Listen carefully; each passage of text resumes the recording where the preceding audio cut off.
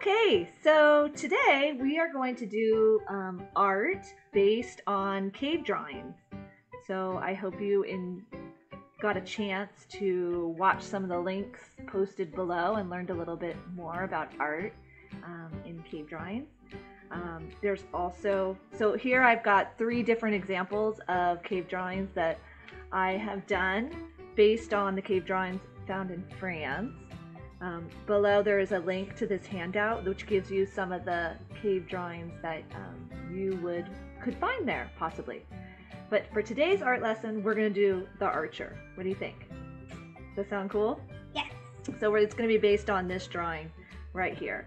And this is the guy or girl, depending on what you see here. Okay, so today you need paper. Uh, thicker is a little bit better. Um, mixed media charcoal pencils, and watercolor. Okay? So I'm to put this guy over here. Um, and feel free to go back and do um, other cave drawing pictures too that you are inspired by. And I'd love to see them. All right, so we ready? We want our paper to go up and down, portrait style. And I'm to move yours over just a little bit, right there. Sound good? Okay. So here we go. With our charcoal pencils, we're going to do the bow first. This curved line near the side. So I'm going to do fairly large. And when we're doing our cave drawing with our charcoal pencils, you want to do shorter, rough lines. It's supposed we're supposed to be imagining as if we're drawing from the charcoal of the fire in the cave. So quick, curved line on the side. Perfect. I love it. Um, and then about halfway down our bow, we're going to put the hand of our archer. Okay, so we're going to do a sideways V or U about halfway right through that line, like so. Great. Now there's no, what I like about this art project is that you can't really mess up too much. Like if you make it too small or too short or too fat or too thin, just go back over it again. It's supposed to be like as if we're sketching on a wall. So no mistakes here. So now we're going to follow these two lines up into the arm and you want it to get just maybe a little bit fatter because our arms tend to get a little bit wider as they approach our body, right?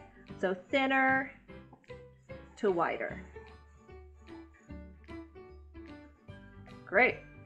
Now let's go ahead and draw two parallel lines for the body, okay? So we're gonna go right over these lines. Here's one line, like that. And then a parallel line right next to it.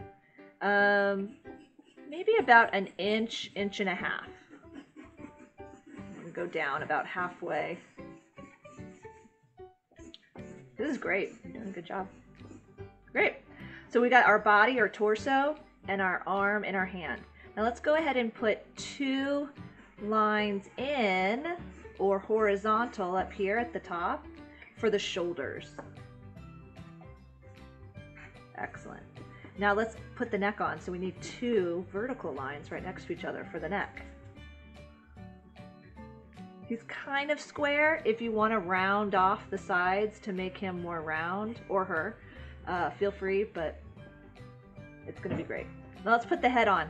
So I'm going to start at the back line right here. And I'm going to go straight up and then rainbow out this way. Rainbow or curved line over towards the shoulder. Perfect. Then I'm going to go straight down, but a little bit out. And then connect it to the front of the neck. Let's see. Oh, very good. Excellent. Now go back on over those lines. We want them to be a little bit thicker. And then you can fix it if you think he's too square or too round or whatever. And I'm going to attach this arm a little bit more there. How's yours? Oh, very good. Now let's put on his second arm, okay? The one that's coming down the back of him right here. So from the shoulder, you're going to put a diagonal line out about halfway down his torso.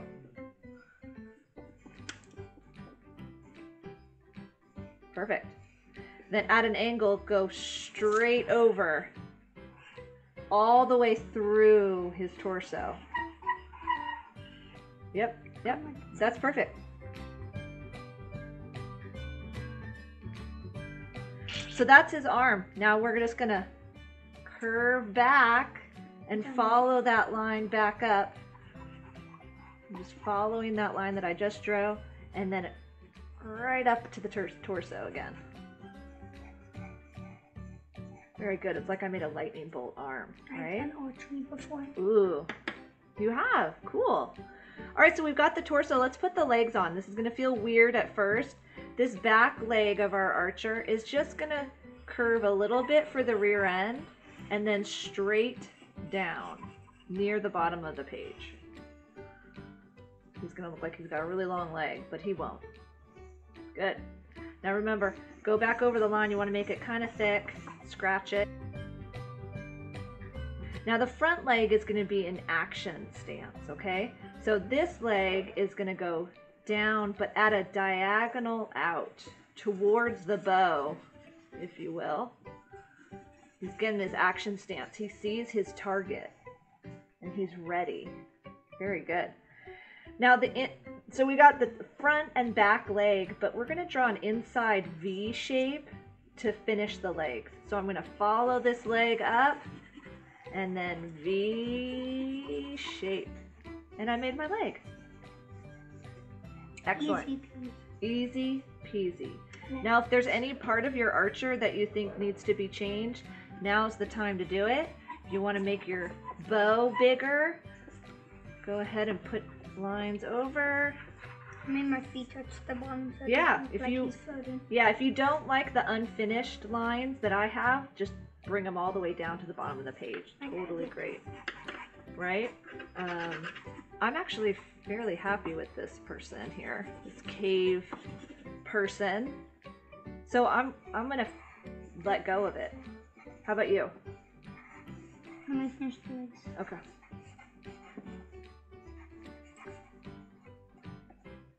All right, cool.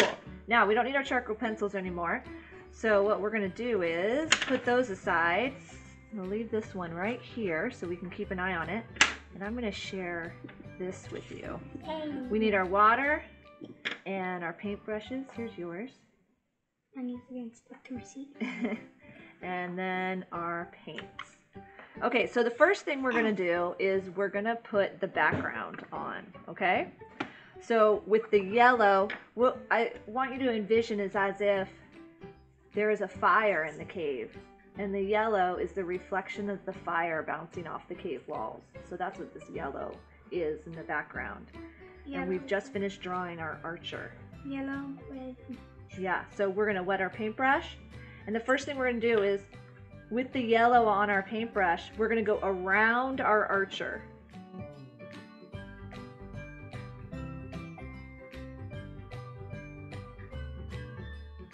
Now once you've gone around, we're gonna do quick towards the edge of the paper, just fill it in with the yellow. Now I like to not make it smooth since it's supposed to be a reflection of the fire it doesn't have to be all filled in. So leaving some white spaces kind of makes it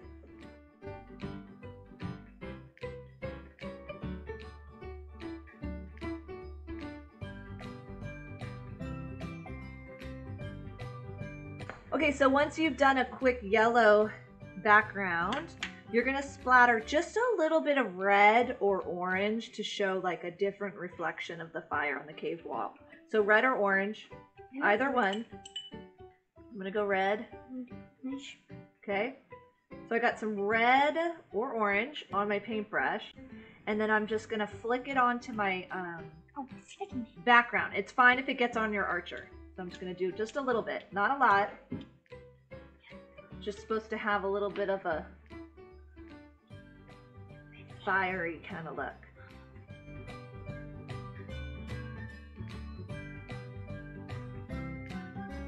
So once you've done a little bit of splatter, not too much, right? Because you don't want to take away from your central figure or theme of your drawing.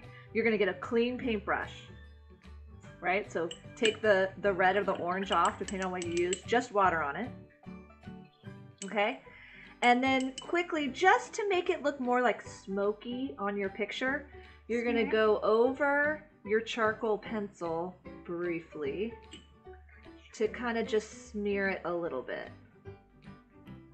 You know, if this is a cave drawing, it's supposed to look old, right?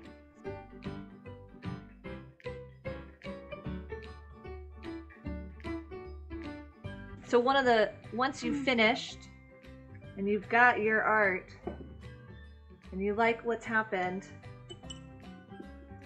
you have to do the most important thing. What's the most important thing when you're all done with your art? Sign your name. You always have to sign your name. Right? Always put your signature on. On Sharpie.